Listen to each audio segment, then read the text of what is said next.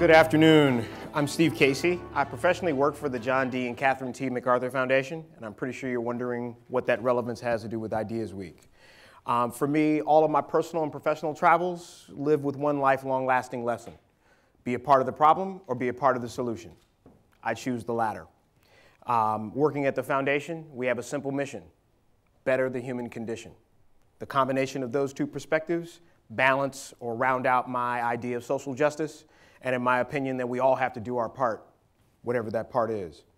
Today, I serve as proud co founder and board president of Food Desert Action, aka Fresh Moves. We're a 501c3 tax exempt organization with a triple bottom line financial, environmental, and community foci, whose mission is to create community based solutions to address the lack of grocery stores in low income urban neighborhoods here in Chicago.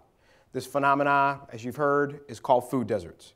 Uh, 1996 definition from the UK defines it as a, areas of relative exclusion where people experience physical and economic barriers to accessing food. I take it more simple communities with little or no access to grocery stores or quality or nutritious food choices.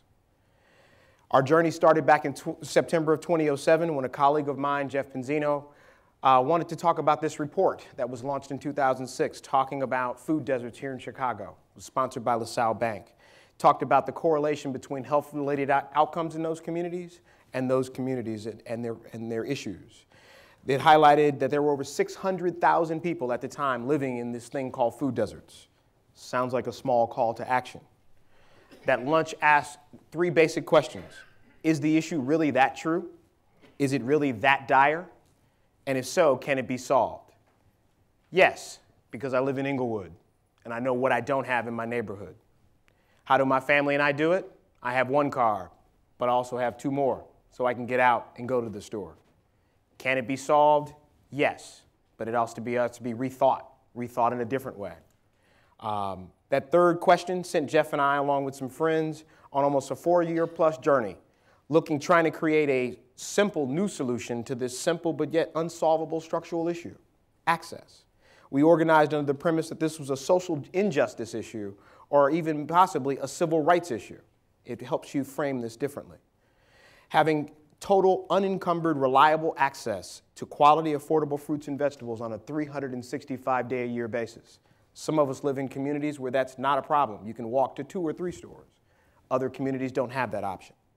As we looked at this complex issue, we realized that the standard brick and mortar store was limiting, too expensive, and certainly wouldn't have its impact.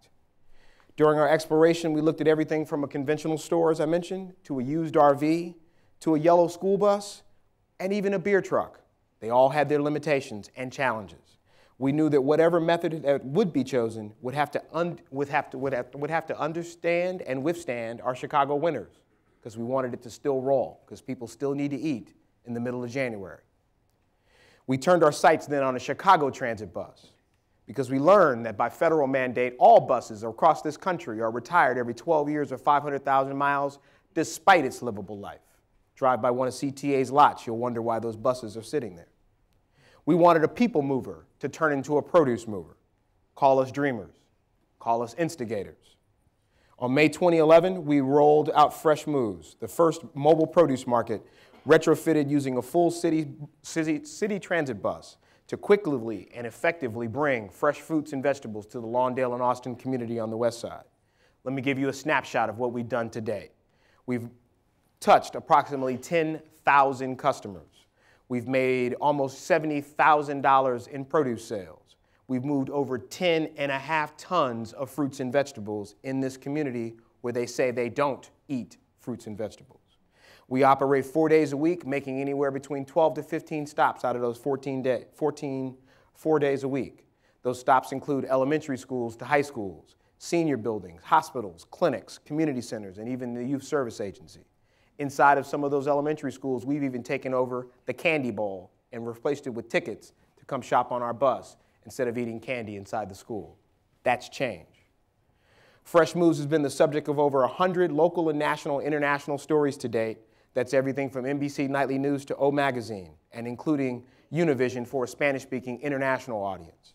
We do all of this with three sales associates, a driver, and now a recently hired executive director. We've even made our way to the White House cookbook, American Grown.